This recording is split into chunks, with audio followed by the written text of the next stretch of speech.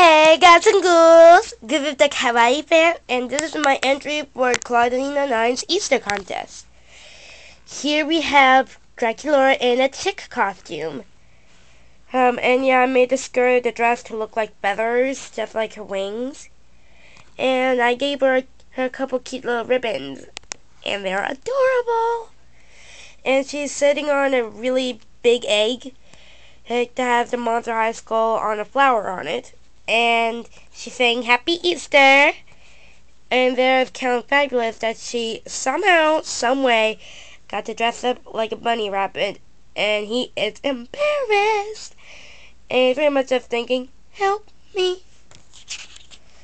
This one I didn't bother to color, because every time I had color how Frankenstein, and her skin always looks like puke. But this is Frankie and Watzit coming out of the eggs, and I gave them the egg costume because they're just so brand new to this world, and and they got a lot to learn. So basically, they just been recently born. Yep.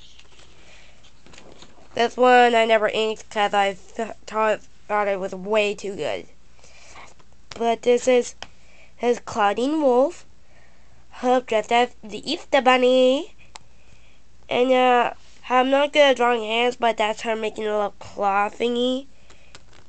Because she's a werewolf, and and she's just in this totally chic outfit with crescent in her Easter basket, doing the Easter thingy.